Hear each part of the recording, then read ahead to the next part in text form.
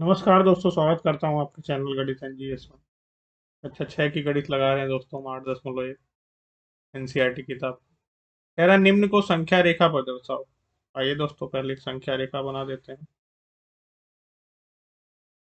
थोड़ा सा टेढ़ी सी संख्या रेखा बन गई, थोड़ा सीधा बना देते हैं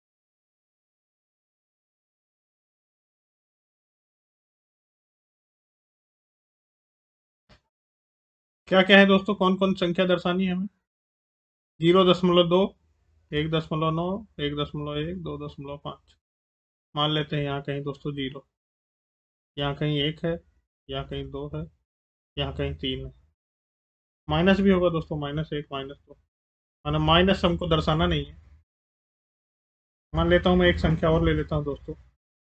माइनस एक दशमलव पाँच। ये भी दर्शाना है, ठीक है? कहाँ कहाँ पे आएगी दोस्तों संख्या? ज़ीरो दशमलव दो कहाँ पे आएगा?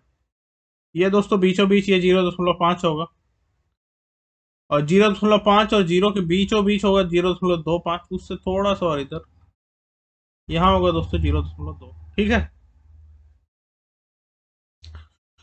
एक दशमलव नौ कहाँ होगा दोस्तों? ये एक दशमलव पाँच है। एक दशमलव नौ के थोड़ी बाद ही दो आ जाएगा। यानी दो के दो के करीब होगा दोस्तों एक दशमलव नौ। ठीक है ना? और दो दशमलव पाँच तो बिल्कुल बीचों बीच, दो और तीन के बीचों बीच ही तो दो दशमलव पाँच है तो बहुत ही आसान हो गया। एक दशमलव एक दोस्तों, एक के थोड़ा बाद एक के थोड़ा बाद ही एक दशमलव एक। ठीक है दोस्तों, और मैंने बोला है माइनस एक दशमलव पाँच भी आपको दिखाना है। ये माइनस एक है दोस्तों, माइनस एक और माइनस दो के बीचों बीच आएगा माइनस एक दशमलव पाँच। ठीक है दोस्तों, ये हमारी संख्या रेखा पे हमने दिखा दी, दशमलव संख्याओं को। ठीक है, धन्यवाद।